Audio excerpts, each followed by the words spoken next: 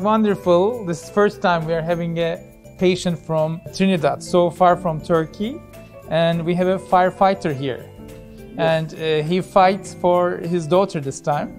And uh, we are lucky to have him here because he's a very good father.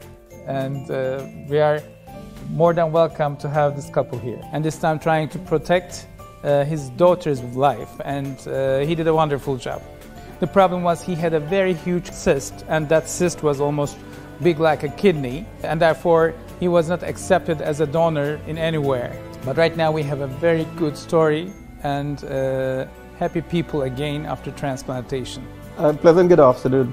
My name is Peter Neverson, and I am from Trinidad and Tobago, and I'm here to share my experience at the Florence Nightingale Hospital in Istanbul, Turkey. My daughter Anastasia was on dialysis for the last five years. We have made several attempts to have transplanted and uh, unfortunately because of different issues it never materialized until I finally came across Florence Nightingale Hospital. I was totally impressed with the, the all the facilities and all the services that were being uh, they fitted right into what my daughter needed at the time.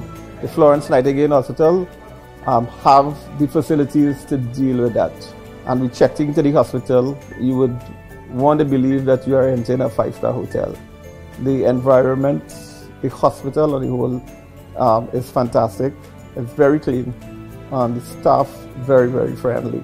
Most of the journey from Trinidad to Florence Nightingale was coordinated, answering most of my questions, although I know at times I probably uh, was overwhelming.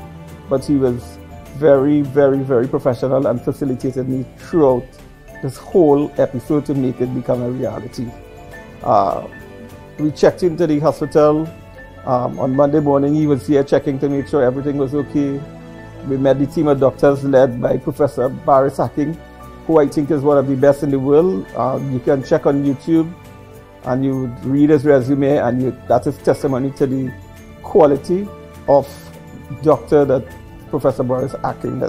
I must say that the team that, um, that is in the transplant uh, unit is a very, very professional team.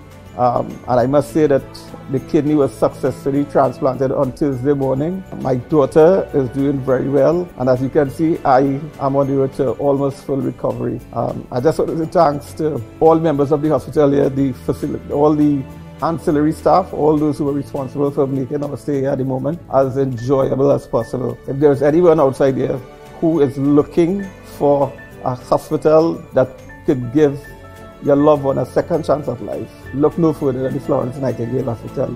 Fully endorsed, fully satisfied. Give your loved one a second chance. Thank you. Hi, my name is Alice Major Levinson, also known as Muffy. It has been a long journey for the last five years. And I um, am thankful, extremely thankful for this moment. The staff here at Florence Nightingale has been excellent.